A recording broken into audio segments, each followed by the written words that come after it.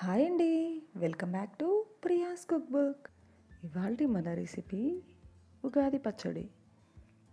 ఉగాది రోజున మన తెలుగువారందరూ తప్పకుండా చేసుకునే ఈ ఉగాది పచ్చడిని పర్ఫెక్ట్ మెజర్మెంట్స్తో చేసుకుంటే మరింత టేస్టీగా ఉంటుందండి. మరి ప్రాసెస్లోకి వెళ్ళిపోదామా? ముందుగా అరవై గ్రాముల చింతపండుని తీసుకుని అది మునిగేంత వరకు నీళ్ళని పోసుకుని ఓ ఇరవై ఇరవై ఐదు నిమిషాలు నానబెట్టుకోండి.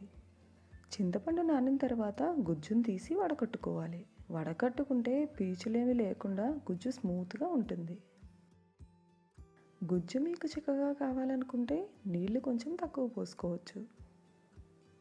ఇప్పుడు ఒక మిక్సింగ్ బౌల్లోకి రెండు వందల గ్రాముల తురిమిన బెల్లాన్ని తీసుకుని కొద్దిగా మిరియాల పొడి ఉప్పు వేసుకుని చింతపండు గుజ్జును కూడా వేసేసుకుని బెల్లం కరిగే వరకు కలుపుకోండి.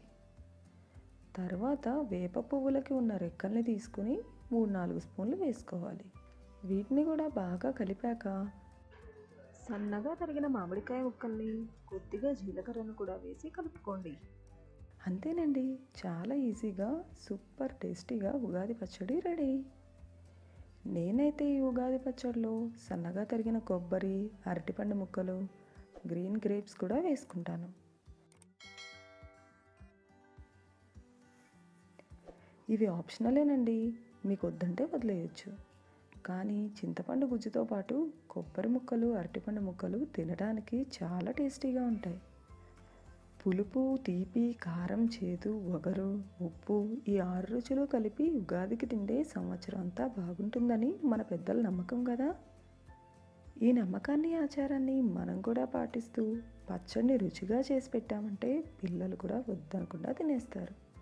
ఈ ఉగాదికి మీరు కూడా ఈ పచ్చడిని ట్రై చేసి మీకు ఎలా వచ్చిందో మాకు కమెంట్స్లో చెప్పండి. మీరు మా ఛానల్ని ఫస్ట్ టైం చూస్తున్నారా? అయితే మరిన్ని ఇంట్రెస్టింగ్ వీడియోస్ కోసం మా ఛానల్ని సబ్స్క్రైబ్ చేసుకోండి. పక్కనే ఉన్న బెల్ ఐకాన్ను కూడా ప్రెస్ చేస్తే మా కొత్త వీడియో నోటిఫికేషన్స్ మిస్ అవ్వకుండా మీ వరకు వచ్చేస్తాయి. Thank you